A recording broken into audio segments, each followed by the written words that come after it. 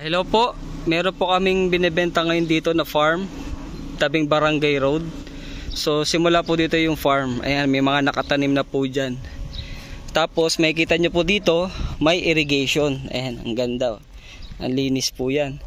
So currently may mga nakatanim po na talong, Chinese kangkong, ayan po. So ito po yung part, simula po dyan, yung pinaka dead end ng tanim papunta po doon yung property. Puntahan po natin.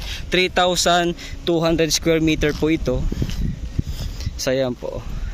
May mga nakatanim na. So ito yung frontage nya sakop niya yung buong frontage ng barangay road. Napakalaki.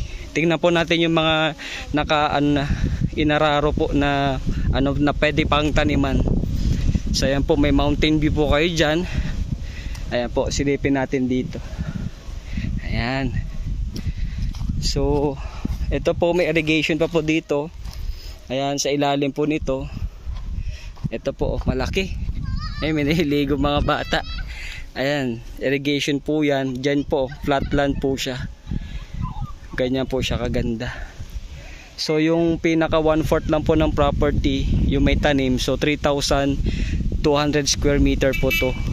Pinaka total. Ayan po. So, from the barangay road, along the barangay road, tapos galing po kami sa main road, mga nasa 5 minutes lang po. Yung main road niya.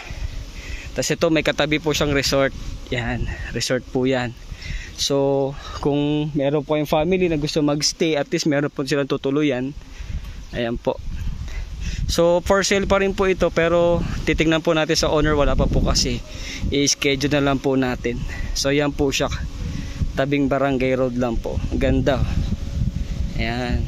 Tapos sa town proper po uh, nasa 10 minutes lang po siya.